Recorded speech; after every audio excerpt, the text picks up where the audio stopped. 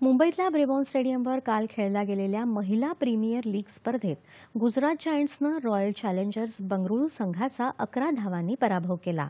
नाणेफेक जिंकून प्रथम फलंदाजी करताना गुजरात जायंट्स संघानं वीस षटकात सात खेळाडू गमावत दोनशे एक धावा केल्या होत्या. मात्र रॉयल चॅलेंजर्स बंगळुरू संघाला हे आव्हान पेलवलं नाही. आव्हानाचा पाठलाग करताना केवळ एकशे नव्वद धावांपर्यंतच मजल मारू शकल्यानं त्यांचा पराभव झाला.